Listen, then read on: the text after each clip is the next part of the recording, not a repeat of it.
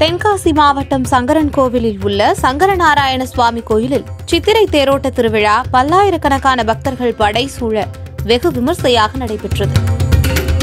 கடந்த ஏப்ரல் மாதம் பதிமூன்றாம் தேதி கொடியேற்றத்துடன் கோலாகலமாக தொடங்கிய இந்த திருவிழாவின் முக்கிய நிகழ்வான திருத்தேரோட்டமானது இன்று காலை வெகு விமர்சையாக தொடங்கியது. இதில் பல்லாயிரக்கணக்கான பக்தர்கள் கலந்து கொண்டு தேரை வடம் பிடித்து இழுத்து வழிபட்டனர்.